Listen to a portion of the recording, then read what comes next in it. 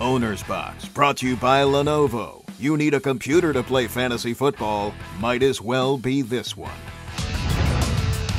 It's week one, and you're inside the owner's box where players are your property and your neighbors are millionaires. I'm Perry Bigwell, and today we're talking Rob Gronkowski.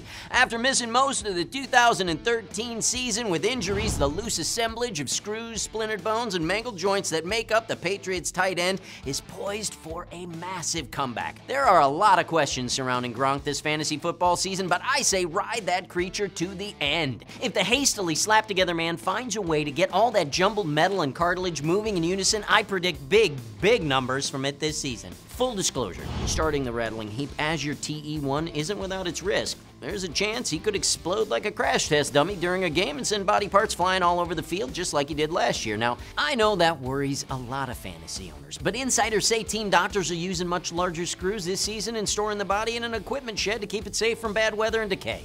Plus, coaches are telling Gronk that the football's full of medicine, so you bet he'll be zeroing in on that ball every down. With a difference maker rating of 6.7 and a second heart placed inside his back, Gronk is Perry's top tight end this season.